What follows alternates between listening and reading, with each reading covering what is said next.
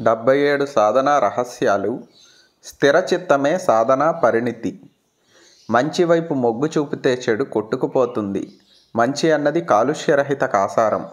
చెడు పరిసరాల్ని సైతం మలినపరిచే మురికి కూపం. మంచి ఎంత లోతుల నుంచైనా పారదర్శకంగానే ఉంటుంది. చెడు భ్రమింపచేసే ఊబిలా తయారవుతుంది. మంచి సంకల్పమే చెడుకు దూరం కావటానికి మొదటి మెట్టు. మనల్ని మనం నియంత్రించుకుంటే ఈ సంకల్పం సత్సంకల్పం అవుతుంది. స్వయం నియంత్రణ సాధ్యం కానప్పుడు అస్థిరత చంచలత మనల్ని పట్టి పీడిస్తాయి. ఈ నియంత్రణ సాధ్యం కానప్పుడు కష్టాలు విషాదాలు మన జీవితాన్ని కబళిస్తున్నట్లుగా బాధపడతాం భయపడతాం. స్థిరచిత్తం లేకపోవడమే వ్యాకులతకు అమనస్కతకు కారణం. దీంతో జీవితం అధపాతాళానికి చేరినట్టుగా కుంగిపోతాం. ఇలాంటి సమయాల్లోనే యోగ సాధన ఆత్మవిశ్వాసాన్ని పెంచుతుంది. ఆత్మస్థైర్యాన్ని ఇస్తుంది. ఫలితంగా చిత్త చాంచల్యతకు దూరమయ్యి స్థిరచిత్తంతో జీవితాన్ని ఆవిష్కరించుకుంటాం. కష్టాలు విషాదాలు ఆటంకాలు మనలోని అధమ ప్రవృత్తిని ఆకట్టుకుంటాయి. అవి ఉన్నతిని కాంక్షించే ఆత్మను తాకనైనా తాకలేవు. ఆత్మ వీటికి అతీతం. దాని ప్రయాణం ఉన్నత సీమలలో తప్ప అధమ స్థాయిలో కాదు. ఈ తెలివిడితో ప్రతి ఒక్కరూ స్థిర స్థిరచిత్తులం కావచ్చు.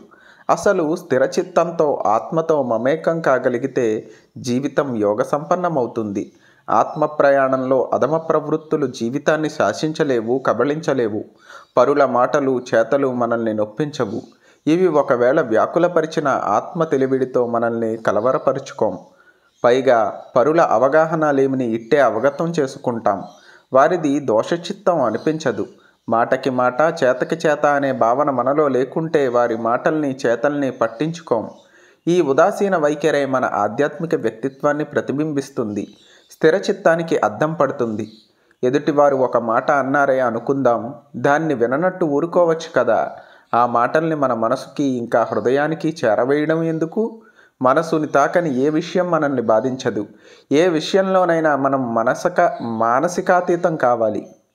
దానికి ఉపకరించేదే యోగ సాధన. నిజానికి శరీరంపై పట్టు లభిస్తే మన మనసు మన ఆధీనంలో ఉంటుంది.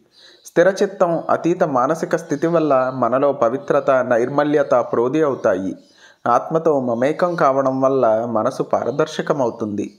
మన యోగ సాధన ఆధ్యాత్మిక ఉన్నతి పదుగురి కోసం అయితే ప్రతీకారం మనస వాచ కర్మణ మన దరికి చేరదు. ఆత్మశోధన ద్వారా జీవన బాటలోని అడ్డంకుల్ని మనకు మనంగా తొలగించుకుంటూ పోవాలి. అప్పుడే విజయం మనల్ని వరిస్తుంది. మనలో సమర్థత పొటమరిస్తుంది. పరిపూర్ణత ఆవిష్కృతమవుతుంది.